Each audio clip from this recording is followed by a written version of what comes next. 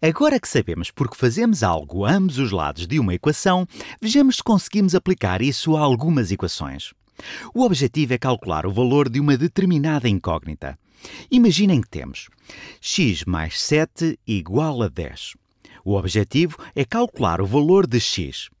O que isto me diz é que um determinado valor adicionado a 7 dá 10. Talvez até consiga calcular isto de cabeça, mas se quiserem ser um pouco mais sistemáticos, terão de isolar o x no lado esquerdo. Para isso, teremos de retirar daqui o 7. Subtraímos 7 ao lado esquerdo, mas para que isto continue a ser igual, tenho de fazer no lado direito o que fizer no lado esquerdo. Lembrem-se da balança para a manter equilibrada. Deste modo, podemos dizer que o lado esquerdo continua igual ao lado direito. Assim, ficaremos com x, estes 7 cortam-se, é igual a 10 menos 7, ou seja, é igual a 3. A incógnita é 3. E podem confirmar, 3 mais 7 é, de facto, igual a 10. Vamos tentar mais um. Suponhamos que temos a menos 5 igual a menos 2.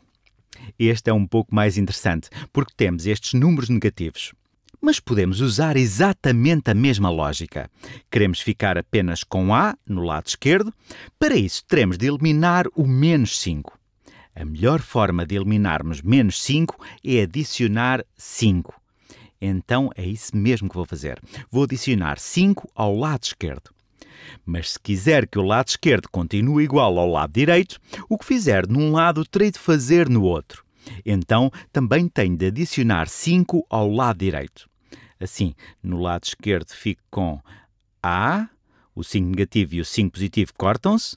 No lado direito, que vai continuar a ser igual ao lado esquerdo, porque fiz a mesma coisa em ambos os lados, temos menos 2 mais 5, que é igual a 3. Portanto, A é igual a 3. Mais uma vez, podem confirmar, 3 menos 5 é de facto igual a menos 2.